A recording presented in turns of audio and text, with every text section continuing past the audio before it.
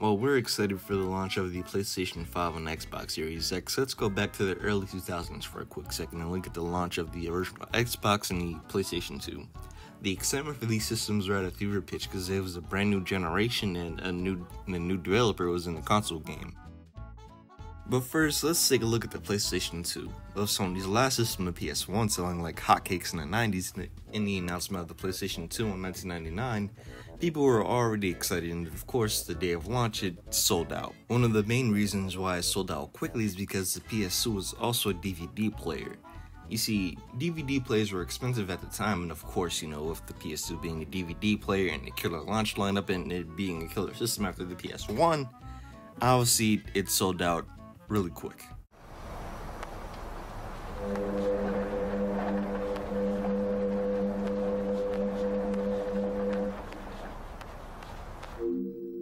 PlayStation 2, now $499.95.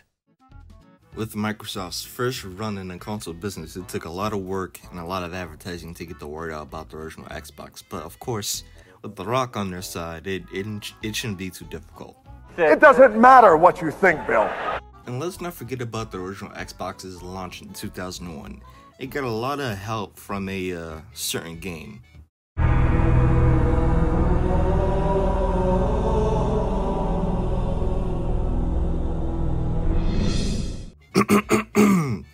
Sorry about that.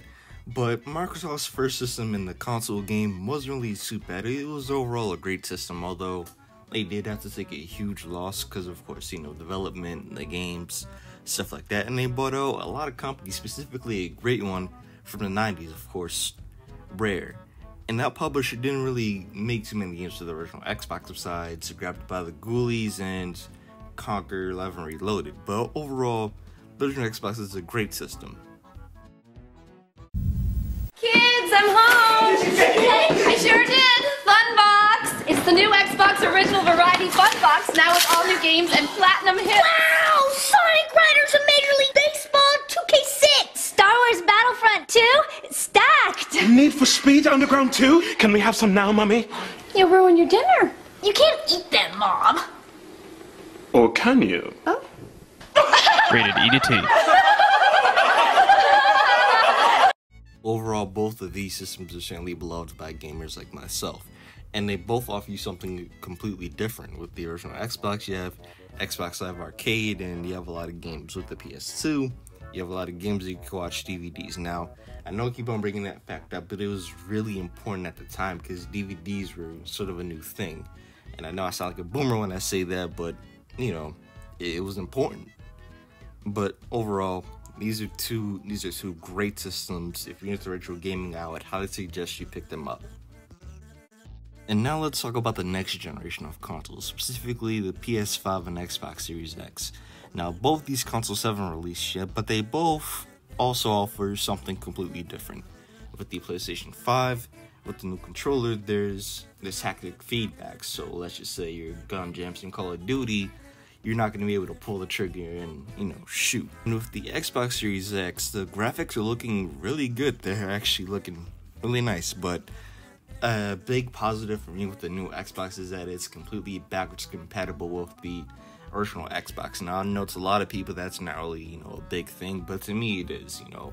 That means I don't have to pull out the huge Xbox and play it. You know, it's a better option for me. But overall, these two these two consoles are looking pretty good. I mean, it's not like a huge jump from this generation to, to the next, but you know, I, I, like these systems so far. Of course, one huge game I'm looking forward to is Cyberpunk 2077. Now, I know there's a lot of news about this game, and apparently it's going to release for the uh, Xbox One and PS4 first, and then it's going to release for the PS5 and the Series X, which isn't really good news for me, but it's whatever. You know, as long as this game comes out for next gen, I'll be happy.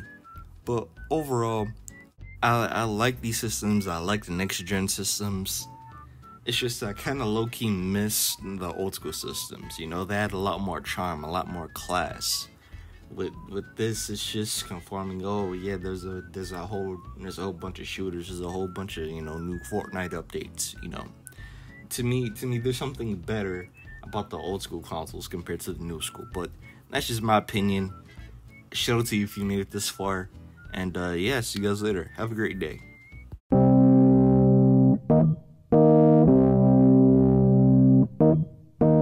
Soul making, sound shaking. Uh.